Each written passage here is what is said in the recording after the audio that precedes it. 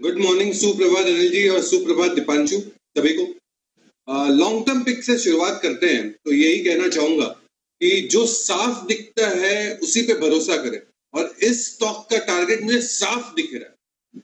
Clear target है, और stock का नाम भी clean science technology clean science technology और एक स्पेशलिटी केमिकल का स्टॉक जो मैं लेके आया हूँ, ये इसके टारगेट जो रहेंगे 2020 के। आज से एक साल पहले 2020 के टारगेट रहेंगे 2020 स्पेशलिटी केमिकल की कंपनी है, कुछ एक प्रोडक्ट्स तो ऐसे हैं, जैसे कि डीसीसी वाइकॉल जो वर्ल्ड में सिर्फ़ यही कंपनी बनाती है। डेट फ्री कंपनी है लिक्विडिटी 220 करोड़ के कैश लिक्विडिटी है।